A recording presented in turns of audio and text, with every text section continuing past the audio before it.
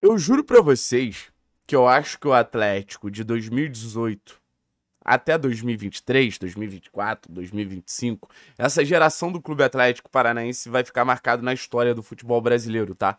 Pode parecer bobeira, mas eu tenho essa convicção, porque eu acho que é um clube que faz história. É uma geração que faz história no futebol brasileiro. Quando a gente fala em relação aos 12 grandes, cara, a questão dos 12 grandes era algo que era aceito no futebol brasileiro como um todo. Beleza, um ou outro podia falar do Bahia e tal, mas era algo basicamente aceito. E o Atlético ele chega e ele rompe uma estrutura. Eu não vou falar uma estrutura social, mas uma estrutura histórica do futebol brasileiro. A partir desse período vencedor, óbvio que o começo do século também teve uma responsabilidade muito grande na construção desse Atlético campeão, mas principalmente de 2018 para frente, que acho que nenhum outro clube de fora do eixo principalmente conseguiu é, fazer clubes que alguns têm até mais torcida que o Atlético, alguns tiveram momentos de uma relevância nacional até antes do Atlético, mas foi esse Atlético que conseguiu romper uma barreira, quebrar essa estrutura, quebrar esse, esse, esses paradigmas né, que, que, que são criados. E nessa construção desse Atlético vencedor, nessa construção desse Atlético campeão, nessa construção desse Atlético histórico, e eu não tenho nenhum problema em falar que é um Atlético histórico, algumas características eram muito claras. E eu separei duas para falar aqui, porque eu não quero falar em questão de jogo. Talvez a gente lembre da verticalidade do time agressivo, do time de 18 e 19 daqui a alguns anos. Talvez a gente lembre da capacidade que aquele time de 2021 tinha de competir. Mas eu quero falar sobre alma e eu quero falar sobre mentalidade vencedora. E eu quero começar a falar sobre mentalidade vencedora, porque o tanto alma quanto mentalidade vencedora são fatores subjetivos, né? Não tem um, uma data de início e uma data de fim. Por isso que às vezes a gente fica com um temor muito grande. Pô, será que o Atlético perdeu a alma? Será que não é um Atlético que, que, que tem alma? E no final das contas, a gente não sabe no final das contas a gente não sabe. Sempre fica um temor muito grande de, de, de ter perdido características que fizeram a gente ser campeão. Por exemplo, alguns torcedores acreditam que foi com o autor e que essa mentalidade vencedora chegou, alguns acreditam que foi com o Lúcio. E é natural que também com a saída de jogadores que fizeram esse vestiário vencedor, que fizeram esse vestiário que tinha muita alma, que tinha muita capacidade competitiva, que, que entrava no jogo e, e era um time que disputava contra qualquer um a partir do momento que você vai perdendo suas referências, jogadores que construíram essa história, você começa a se perguntar: será que o Atlético ainda tem alma? Será que o Atlético ainda tem essa mentalidade vencedora? Será que essa renovação ela trouxe com o Atlético esse espírito diferenciado para o clube? E é normal. Eu acho que essa dúvida para o torcedor é normal. Ainda mais quando os resultados não vêm. Ainda mais como a gente perde o clássico como a gente perdeu pro Curitiba, ainda mais quando a gente é eliminado por um time da Bolívia na Libertadores. Você vai tentar entender o porquê.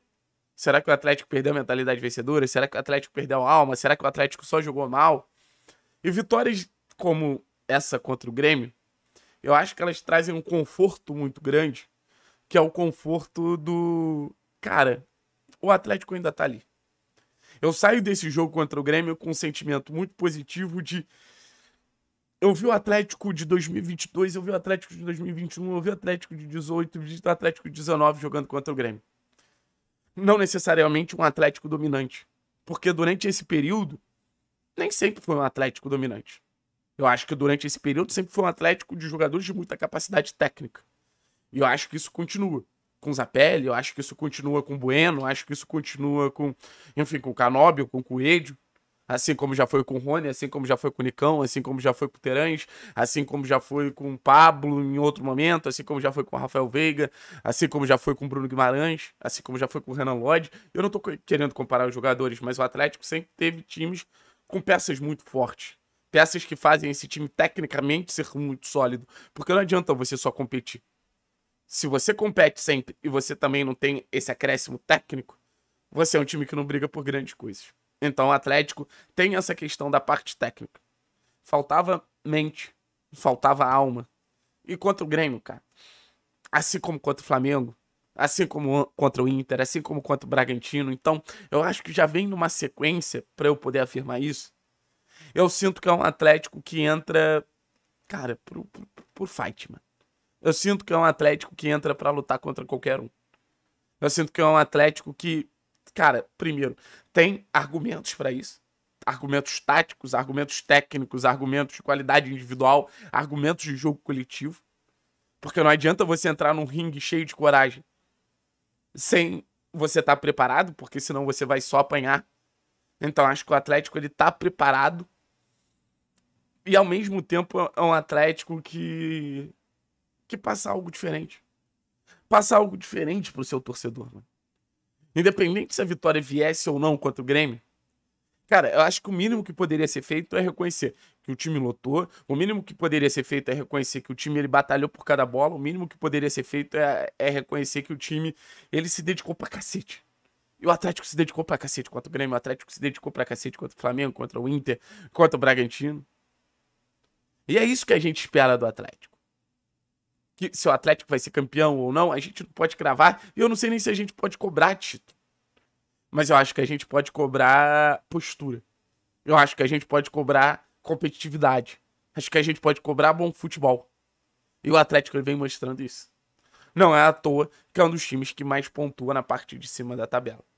Eu sei que tem muitos torcedores que estão com dificuldade de admitir méritos desse Atlético, até pela chateação que esse Atlético ele já causou. Até pelos momentos complicados que esse Atlético ele já proporcionou. Clássico, Bolívar, algumas derrotas no Campeonato Brasileiro. Esse Atlético, ele fez por onde perder a confiança da torcida. Mas eu acho que o torcedor do Atlético, dessa quarta para quinta, ele foi dormir feliz. E era isso que o torcedor ele precisava. Precisava dormir feliz sabendo que o time ganhou um jogo grande. Precisava dormir feliz reconhecendo o Atlético. Eu acho que o grande termo é esse. O torcedor no jogo contra o Grêmio reconheceu o Atlético. Ah, mas poderia ter perdido, irmão. A gente estava jogando contra o Grêmio fora de casa. Tudo pode acontecer num jogo como esse.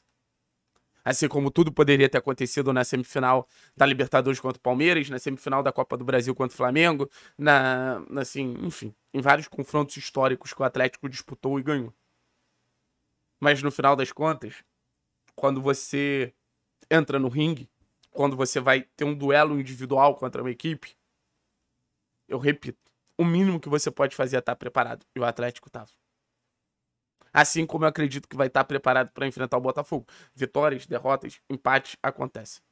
A questão está longe de ser essa. A questão é como você vai para a parada. E o que que você busca. Quando a gente fala de mentalidade vencedora, a gente fala sobre o que o Atlético busca.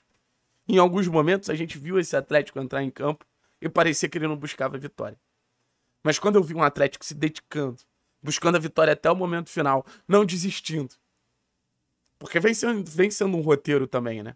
Contra o Flamengo, a gente tá num 1x0 ali, deslancha no momento final.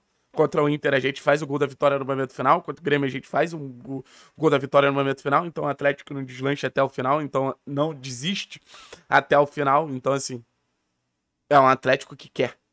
E saber que o Atlético quer, e, e ouvir, por exemplo, um jogador falando que, que o Atlético vai tentar brigar por título, cara, faz parte de mentalidade vencedora.